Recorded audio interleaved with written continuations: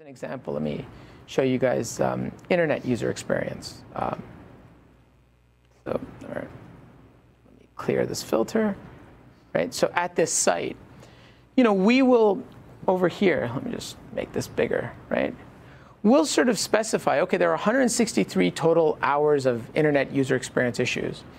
Only 6% of them correlated with bad wireless performance. So at the same time, you know, they're going to Google, Facebook, Twitter, whatever, the wireless was bad, right? But anecdotally, somebody could come say, hey, the wireless sucks here, right? That's why all our problems are happening, or the internet link sucks. But this is you know, hard data to say, well, we correlated it. You can dive even further to look at you know, clients and things like that and see the graphs or whatever that correlate to, or that, that um, you know, are part of this and actually sort of verify, no, no, no, you're, you know, you're full of it or whatever. No, this is actually what's going on. It has nothing to do with this or nothing to do with that. Um, and I'll show you with when, you'll sort of get another piece here, which is, is it the internet, right? Um, and and um, so that's, that's the other side. Yeah. So this is one. The other view that makes a big difference uh, to exactly what you're talking about is let, I can open this up in uh, network history. So if I you know, show you the, the network history, and you know, this is something we can view for you know, the last you know, two months, six months, multiple years actually, that, that you can view this data. But this is what's telling us that how my environment has changed across time, right? And if I made a change, let's say I invested in a new internet link. So the metric we're looking at is internet performance. So I, you know, bought a bunch of new bandwidth or whatever it is um, for that.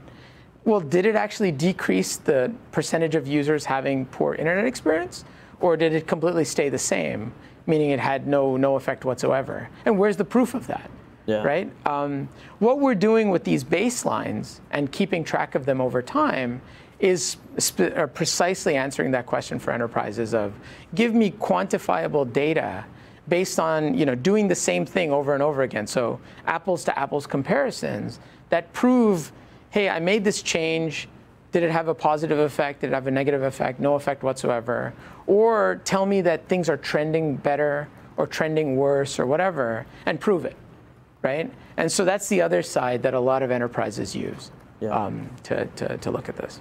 So how do you guys handle one of the things that's always been a challenge for me in baselining is you know it's it sounds great and you get into it and then you go whatever vendor you're dealing with they're like well yeah you can baseline all this stuff and then you get into it and they're like well this is really slowing the system down so you got to go delete all that data that you really wanted you know, so that you can so that you can like you know deal with the new data but then you may care about you know if you know I worked in enterprise retail for a while I may care about what it looked like last Christmas right, Right. before Black Friday Yep. Yeah, and I want yeah. to be able to keep that data not delete it to speed the system up how do you guys deal with that Yeah.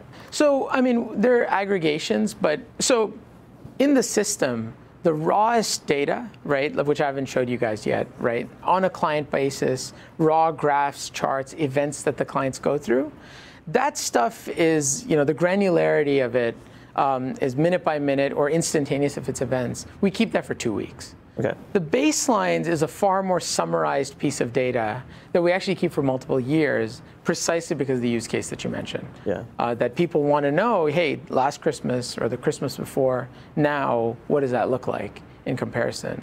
Um, so yeah, different types of data within the product get kept for different time periods for, for that reason. Yeah. And hasn't slowed the system down yet. So. yeah and, and killed it exactly. So, so yeah. Um, uh, so, so this is this is the other view. The last view that I'll just quickly show you again to just kind of level set, you know, some of the differentiation in the product is something we call benchmarking.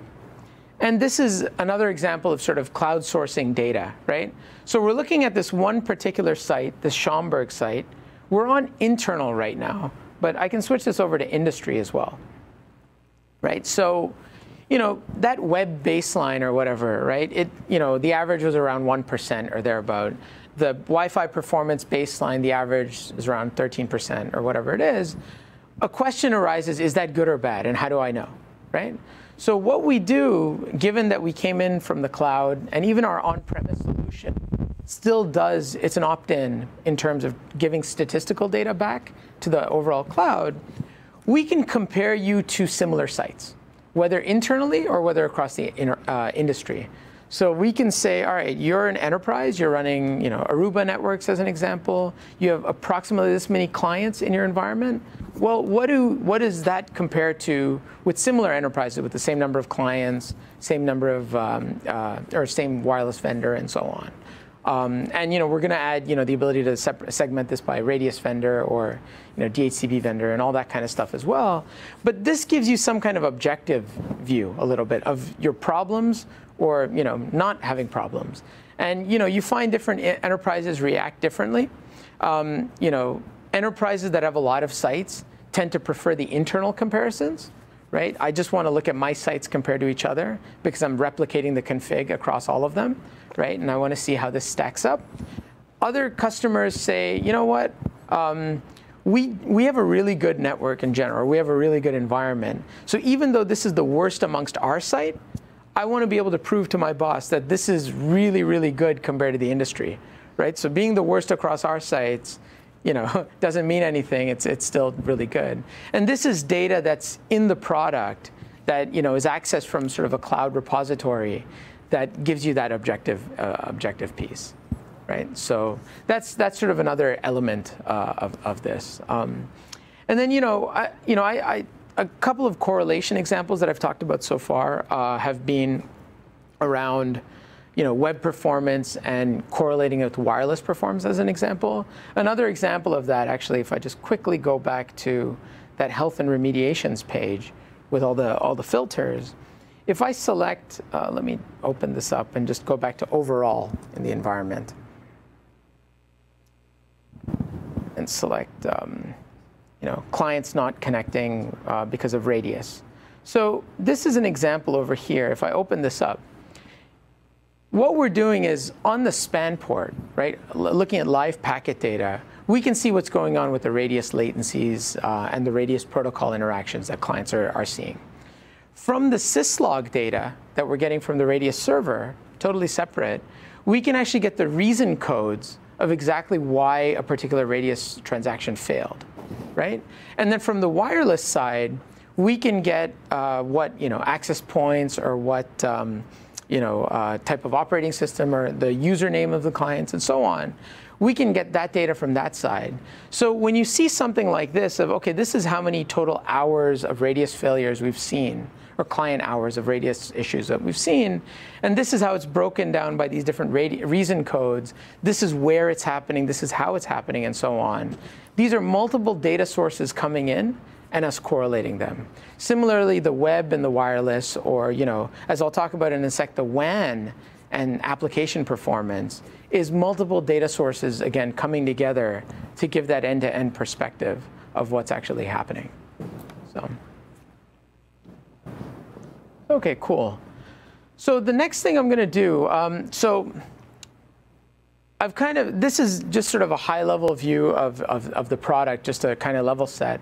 Now, introducing something like WAN, I'll, I'll start there.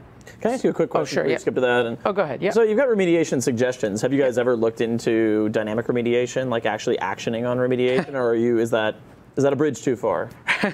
no, it's a good question. It's, it's, very sort of related to the question earlier. Um, so far, um, the way people have done it is via APIs. Mm-hmm. So pulling the insights and pulling the recommendations out and sort of writing their own scripts. Um, you know, we've found that that's a slippery slope because yeah. there's so many vendors and software versions and whatever sure. else um, to, to sort of go down a lot of customers have asked us, "Hey, you're doing all of this. This action makes sense. Make Why the bad man go just, away. Just do it, right?" so we're thinking about it, right, and we're sort of considering it. I, I think the ideal way for us would be via a partnership to actually enable the change right? You know, any kind of orchestration or automation or whatever requires both the analytics piece as well as the management piece. And we've kind of stayed away from the management piece just to kind of focus all our attention on the analytics piece, piece which, as you can see, is not a trivial problem. um, and so, you know, it would probably. So you guys are exploring partnerships with orchestration engines, so that if you say, look, you know, this channel is this channel is jammed up, you don't need to be on this channel for this AP. Just take it out. Maybe one day, yeah. you know, an orchestration engine that could control a wireless controller could say, hey, let's let's totally, put that right? Channel. I mean, like some of those radius. One, one thing oh, you sorry, do yeah. is um, potentially like an outbound webhook. Yes. um, Yep. similar to you know GitHub webhooks. That's So- like our Slack integration. right, is like the Slack exactly that. integration. Exactly. Yeah. Um, so you get the alert that comes in, you send the alert to the orchestration system, Yep. and then the, the orchestration system has the uh, additional intelligence as to whether or not it's going to act on that particular action. No, totally, totally. Um, we just have to wait for the orchestration systems to support webhooks. but definitely, I mean, that's that's definitely part of it. As in, most orchestration systems today in like customer environments, and you know, one of the big things about our product is when we go into a customer environment, we don't want them to change anything. Right? It's brownfield through and through. Just point data at us from what you have today, and we'll give you insight. Right? Um, you know, but in terms of orchestration systems, then what we see in typical customer environments is the orchestration is really the CLI, right? And so that's the API. It's not webhooks. It's not you know REST APIs or GraphQL or anything like that. It's it's at that level. I think as orchestration systems get better and better and more prevalent in these environments, and the APIs into them get more sort of um, kind of vendor vendor agnostic, if you will. Um, I think you know that'll that'll help in a big way in terms of systems feeding back in and um, and actually affecting the change. So okay, so um, I'm switching uh, customers over here in terms of one of the customers that that have added NetFlow into the solution, and what you're this is a university customer, and um, what you're looking at over here. So when you add NetFlow to this, there's a couple of things that happen. So you actually get a separate app, right? So you get the WAN app and you get the campus app, which is our, our traditional app. Value goes into both of them from NetFlow data, right? And, and, and I'll show you that in a sec in terms of correlating different things. But the campus app is more focused around users and user experience. The WAN app is more focused around routers, router interfaces, and, and that kind of detail, right? And so as I talked about earlier, on, on the WAN side, what we're doing here is we're sort of sorting the different sites by you know, this notion of a high link utilization minute. So the high link utilization minute is the analog to the client hour of, of problems. And so we're trying to introduce, again, as I said, you know, we're coming to a world that was very anecdotal. And so we're trying to introduce like quantifiable terms. Um, we'll see if these are the right ones, but you know, so far they, they, they've been reasonably received in terms of client hour and this new one, link utilization minute, or high link utilization minute. But this is just a summary across all of the router interfaces. Um, this might be hard to see, so just zoom in over here, right? So this is a Com- Comcast intercampus link, right? And basically, you know, there's 19,800 total minutes of usage, um, but 58 of them were high right? And today, I think we use high. Uh, we use 50% by default uh, as being high link utilization, but we'll make that. We'll allow people to configure that. Um, and here's a summary of who the biggest culprits are. You know, Office 365 has been the top, you know, um, trafficked application in 20 of those 58 minutes. And this particular IP address, whatever this is, uh, has been the top, um, this private IP actually, because this university owns a big space or whatever of private IPs, uh, has been the top, uh, you know, culprit in 35 of those minutes, right? Um, and so this is just the high-level summary. You know, this are, here's another interface, and this interface has a different characteristic. YouTube was the the top app culprit. This is the top IP culprit, and so on. Um, but you know, you can kind of get this high-level view over here. You can kind of get in, jump into a particular interface and sort of see additional data. And know, as I kind of called out earlier, down here is really the summary of, of this information, where these are the time periods where we notice these minutes going high. And if you want the answer to the question, hey, you know, 9 to 10 a.m. today, you know, nobody could access the internet or it was really bad, what actually happened? You can go back to 9 to 10 a.m. today or whatever and, and click here and basically see, okay, in that, you know, Office 365 for 12 of those minutes was the highest trafficked app. That's how much traffic. You know, that particular source IP, you know, you'll notice something here where this IP address, again, I'll zoom, zoom in here or whatever, that particular source IP transmitted 76 gigs uh, in that 19 minutes versus the next highest source IP was like 37 megs, right? Maybe that's to be expected.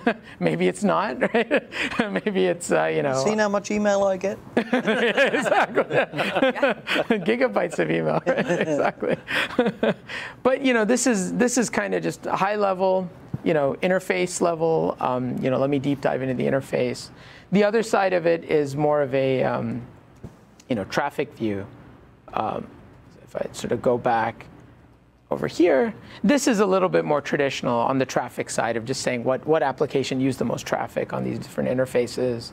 Um, you know, what percentage of the peak utilization did, did these uh, applications take and, and so on. Um, so, you know, you can select an application here, you know, if I select Facebook or YouTube or something like that, right?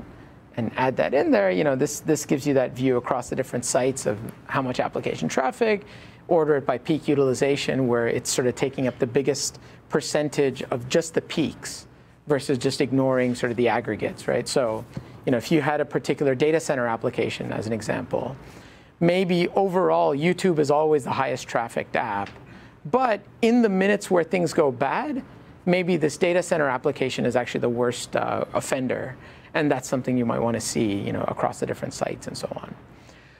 So this is one side of it.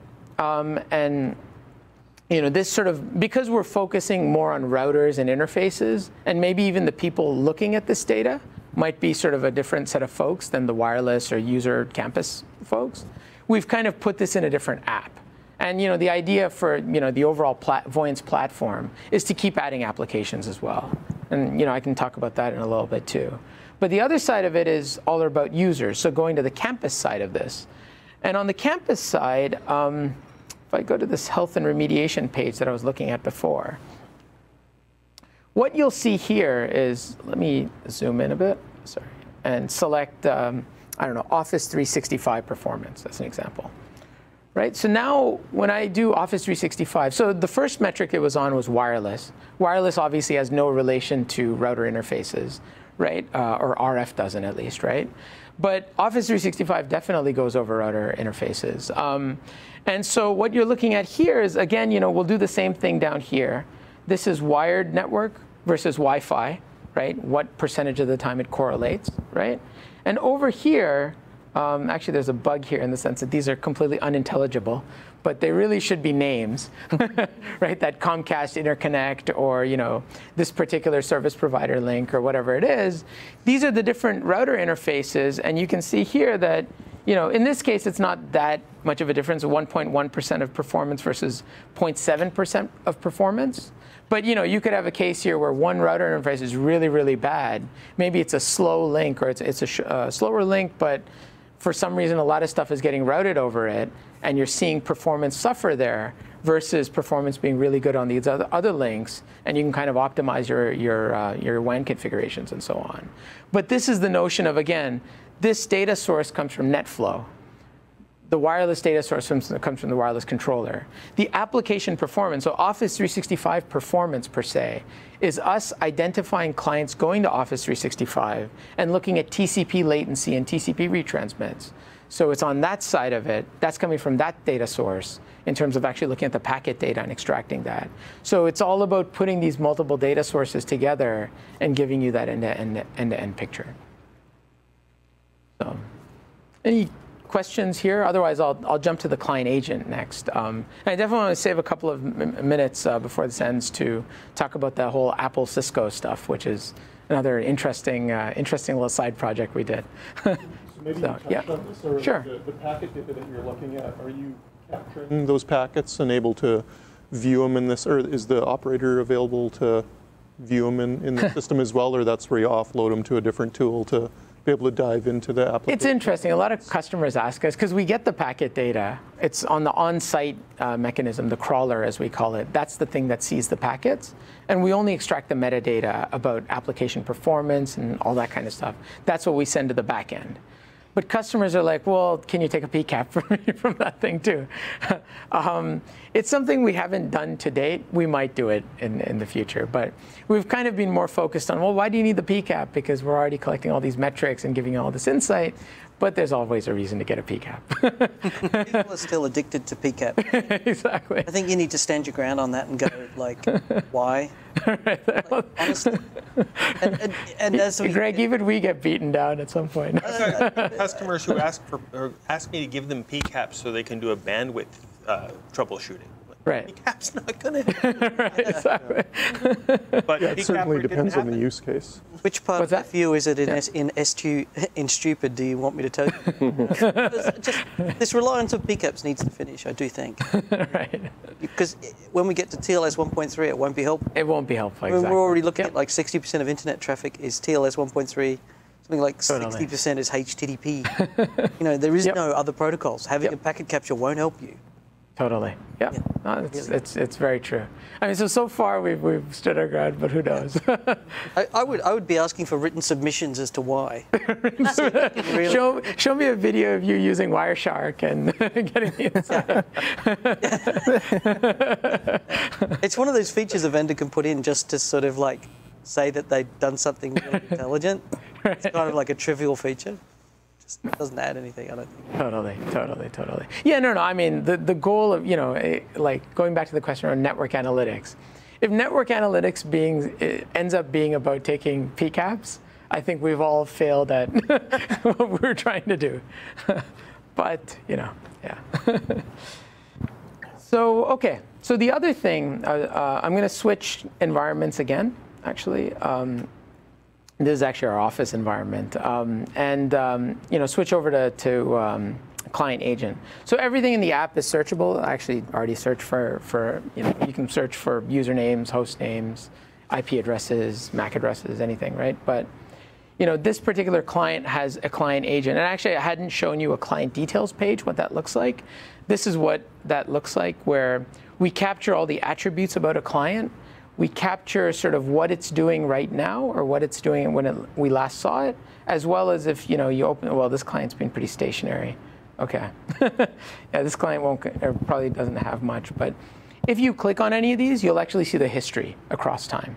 And so a lot of enterprises use this portion of the product to say, well, wait a minute, you're using this DNS server, but you know, in the past you've used I don't know 8.8.8.8 and why were you using that? That's not company policy. Or, you know, this is the SSID you said you had a problem on, but in actuality, you've been using this other SSID, and that's, that's an issue as well. That's something you can very quickly get here um, in, the, in this attribute side. And when you have a client agent, uh, let me zoom in here over, over here. What you get is additional information from the agent, right? So from an attributes perspective, you're getting, you know, the exact, you know, build version or whatever of, you know, what version of Mac you have. You're getting stuff like the exact wireless driver that you have and the chipset that, that it's operating over. You're getting uh, information around battery charge because sometimes that can have an effect on, on uh, poor performance and so on, um, as, as well as battery level. And um, so, you know, just this kind of additional information shows up to be correlated with the, with the rest of the system. Um, the other side of it is this event timeline basically captures every connectivity event that a client goes through, whether on wireless or whether, you know, authenticating, IP address, DNS, et cetera, connecting to the web. When you have a client agent, you get additional data like, hey, the scan data that the, that the client did right? So what neighbors did it detect, you know, when you open the wireless icon or whatever, at what signals? And again, this is to kind of reconstruct a little bit of why this client had a poor roam, right? Like why, did, why is this client associating with this access point really, really far away when there's one right next to it? Well, maybe its chipset, for whatever reason, is detecting that one at a much higher signal strength than this one. Um, you know, all that data sort of, to, sort of gets tied in. And then, you know, um, actually, something I, I, didn't, or I think a question had come up earlier. When we detect an incident, how do we know whether other people are experiencing it at the same time and was it, whether it's a systemic issue or not? So, from a client standpoint, when you come to one of these pages, we summarize all the times you, he had poor user experience. Um, and as you can see, our office Wi Fi is really, really bad right now. which is ironic given that we're a user experience company. We just moved offices, and so that's the that's the excuse at least for, for now. But what's going on is we detected this client had poor wireless experience in three hours in the last couple of weeks. This screen down here shows you at each of the times, did other people that are on the same AP, what percentage of them were having problems? What percentage of the people on the same wireless channel? What percentage on the same SSID? If, if we were looking at a DHCP issue, it would be what percentage of people on the same VLAN are having this problem? What percentage of people using the same DHCP server were having this problem? So the different attributes here sort of get um, displayed based on the type of problem that you're looking at. But the idea here is just from a one client perspective, you can quickly try and determine, at least at a high level, is this a one-off issue? Is this guy the only guy getting affected by this problem? Or is this actually something that is affecting a lot more people? Um, so that's, that's, that's a view that's in the product as well.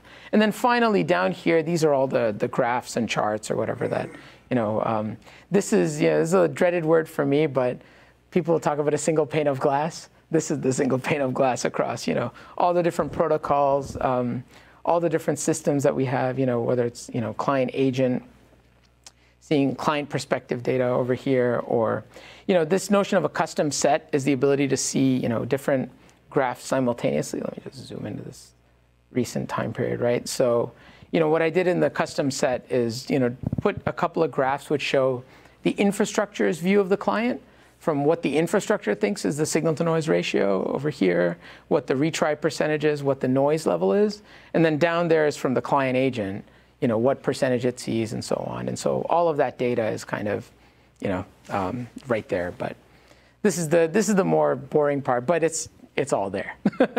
so just short of PCAPs, but you know, it's, it's all the all the, the raw data is there. So that's that's what I wanted to talk about in the product, and what I want to do next is uh, talk about an, an, interesting side project that that came up around Apple and Cisco. But any questions before I uh, switch over? Um, just a question: What's the rough price point that the uh, Voyance WAN is coming in at? Uh, yeah, I think uh, what do you call it? Um, it's based on committed rate. So obviously, so you know, if you have a one gigabit per second interface, but it's only a 10 megabit per second link, we're going to charge based on the 10 megabit per second. Okay. Um, I think it's, you know, I think for a 10 megabit per second, it's like a few hundred dollars per year. For a one gigabit per second, I want to say something like 13K per year on the NetFlow side as, as, as sort of a list. But and, and it can be purchased independently. The WAN can be purchased independently. Yeah, exactly. Exactly. Yep.